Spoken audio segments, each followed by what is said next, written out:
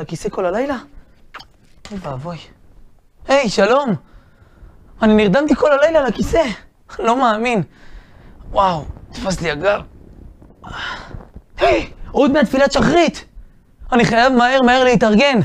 אמ... נטלה, אני צריך נטלה. נטלה, איפה שמתי את הנטלה? נטלה, איפה- הנטלה? נטלה? אמ... איפה שמתי את הנטלה? יש לכם אולי נטלה? אני צריך נטלה. יש! תודה רבה. נטילת ידיים, כמו שצריך.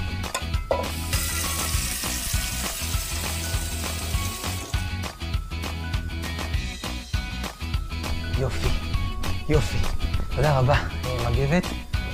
יש לכם גם מגבת? אני צריך מגבת. יש, תודה! בסדר גמור.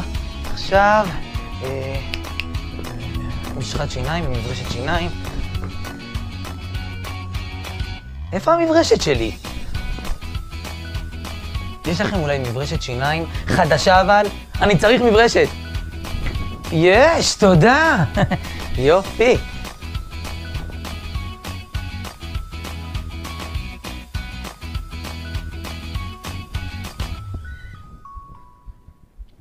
אה, ברוך השם, ברוך השם. זהו, אני מאורגן. רגע, אני אמרתי מודה אני? אני לא זוכר אם כשהתעוררתי אמרתי מודה אני. אמרתי? טוב, אני אומר עכשיו. מודה אני לפניך, מלך חי וקיים, שהחזרת בי נשמתי בחמלה, רבה אמונתך. וגם לא נראה לי שאמרתי לכם שלום כמו שצריך. בוקר כל כך לחוץ. אבל אם כבר הגעתם לחדר תפילותיי, מה דעתכם שנלמד ביחד משהו על התפילה? אולי על מודה אני. רוצים? אז בואו ניכנס לתוך הסידור ונלמד ביחד על מודה אני. יש עוד זמן עד תפילת שחרית, אני אספיק. אז נזכה ביחד ללמוד משהו על מודה אני. בואו נפתח את הסידור.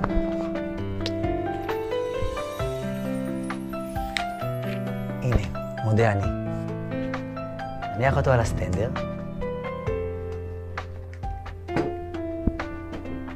ונאמר ביחד, תפילותיי. זוכרים? אז בואו נעשה את זה. יחד איתי. תפילותיי.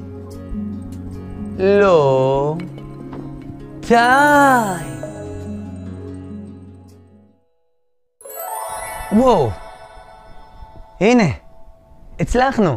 נכנסנו לתוך הסידור. והגענו אל מודה אני. בואו נקרא את זה. מודה אני לפניך, מלך, חי וקיים, שהחזרת בי נשמתי בחמלה, רבה אמונתך. אתם יודעים?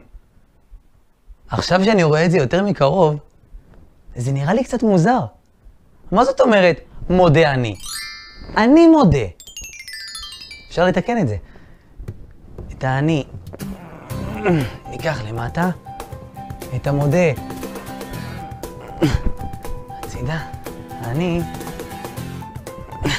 תחילת המשפט, ועכשיו, עכשיו זה נראה יותר טוב. אני מודה לפניך. ככה אנחנו גם רגילים לדבר. מה זה? זה השתנה. חזר שוב לכמו שהיה מקודם. אמ, אסור. מה זה, מי זה אמר? את- זה אתם? אתם אמרתם? חס ושלום. מה זה? מי זה? זה אני, הסידור. הסידור? מה, ממתי סידור מדבר? וממתי אפשר להיכנס לתוך הסידור? כל זה קורה רק בחדר שלך. אה, נכון. הסידור מדבר. אה, למה התכוונת שאמרת אסור? אסור לשנות את המילים שכתובות בסידור. המילים נכתבו בידי חכמים ונביאים והכל מדויק. מה? אבל, אבל, מודה אני זה נראה קצת הפוך. צריך להיות כתוב אני מודה. אולי זה נשמע לך כך, כי צורת הכתיבה של התפילות והבקשות שמופיעות בי ובשאר הסידורים היא לא תמיד דומה לצורת הדיבור שאתם רגילים לדבר. התפילות נכתבו לפני המון שנים, אבל כמו שהן היו חשובות ומדויקות פעם, כך הן חשובות ומדויקות גם היום. אז מה? משאירים את זה ככה? מודה אני? אתה יודע, הסתכלתי עליך כשרצת בחדר והתארגנת. כן, כן, היית לחוץ מיד כשקמת. אמרת כל הזמן אני צריך, אני צריך. התחלת את היום שלך במילה אני. כמעט ושכחת לומר מודה אני. זה כתוב מאחוריך. בשורה למעלה. כשיהודי מתחיל את היום שלו, הוא מתחיל אותו במילה מודה, ורק אחר כך הוא אומר אני. קודם כל, הוא מודה לקדוש ברוך הוא שהחזיר לו את הנשמה. זו המילה הראשונה שצריכה להיות כל יום בחייו של יהודי. מודה, להודות. וואו. אף פעם לא חשבתי על זה ככה. זה מדהים! אתה יודע מה עוד מדהים? מה? שכשאתה מודה לקדוש ברוך הוא, אתה זוכה גם לשמור על עצמך. לשמור על עצמי? איך? אנשי המדע גילו שכשאדם מתעורר מהשינה, הוא צריך לשבת ולהמתין 12 שניות לפחות לפני שהוא עומד.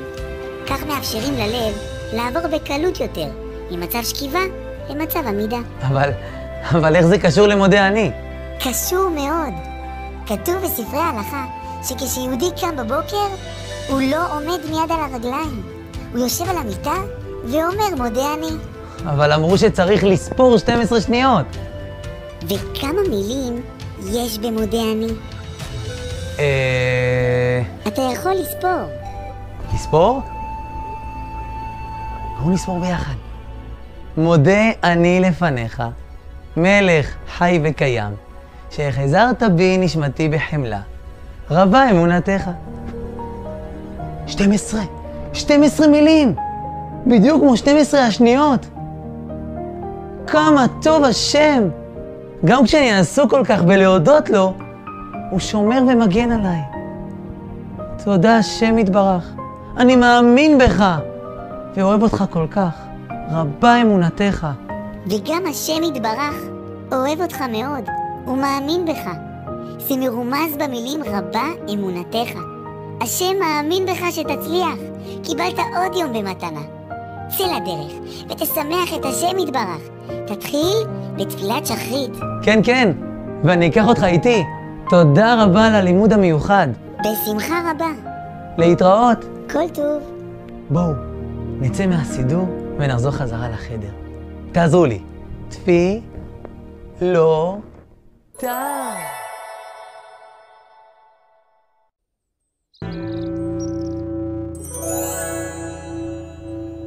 וואו! איזו חוויה מיוחדת! איזה לימוד מיוחד! מה, הסידור דיבר איתי?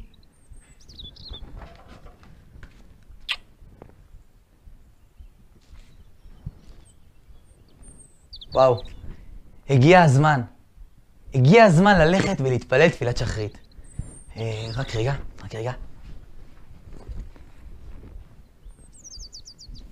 יופי. עכשיו אני מוכן. סידור, תפילין וטלית, עכשיו אני מוכן ללכת להתפלל תפילת שחרית, ולהודות לקדוש ברוך הוא, שנתן לי עוד יום במתנה. בדיוק כמו שאנחנו צריכים לומר מודה אני בבוקר, מיד כשקמים.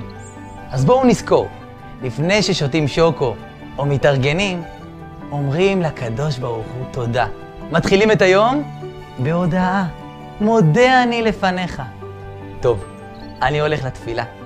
תודה רבה שהצטרפתם ללימוד ביחד איתי. להתראות, להתראות לכם.